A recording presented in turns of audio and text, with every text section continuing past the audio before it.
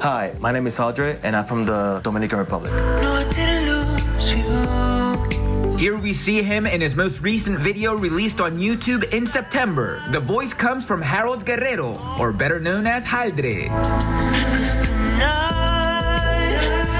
Haldre is pretty much a combination of my full name. I sing uh, pop, R&B, soul, and ballads. Haldre embarked on his musical journey after seeing the Spanish version of American Idol. I dreamt about me in a stage performing. And then after I was done performing, the audience just like clapped. I heard like a loud clap. And then I felt this sense of uh, adrenaline. After that, I woke up and I'm like, that felt great. Since then, I, I wanted to like,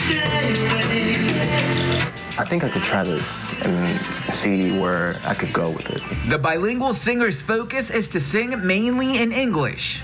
I got inspired from American artists, and it's easy for me to communicate in English. But he doesn't forget about his Latino roots. I want to make sure that I represent my language, my native language. His musical ability has led him to compose and produce songs on his personal experiences. But there's a bit of hesitation before releasing his music. My self-doubt, I overthink. I think every artist overthinks their, you know, their craft and stuff and their songs. So it's a bit difficult if you know you've done your best, and the next day it feels like it's not good enough yet. But at some point, you you let people hear it and determine from there, from their opinion, if it's finished or not. His lyrics are his escape, as the Allentown resident will soon welcome us into his personal life with his first album called Darker. I'm dropping an album next month. They're gonna be everywhere, uh, all platforms, you know, Spotify, Apple Music, Deezer, Google Play. His dream is to make it in the music world and create his own label to serve other artists. The story of Haldre is about an immigrant who came to the United States when he was 14 years old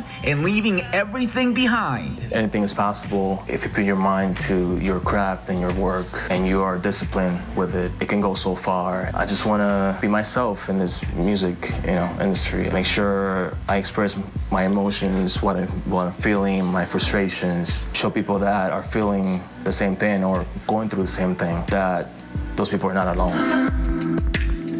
Oh.